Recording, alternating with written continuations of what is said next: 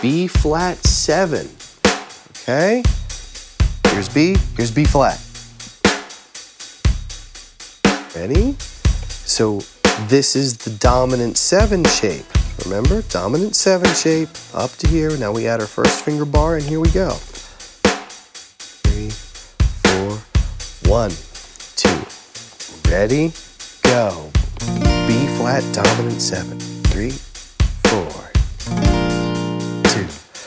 three, four, one, two. And then you may relieve the pressure. It's okay.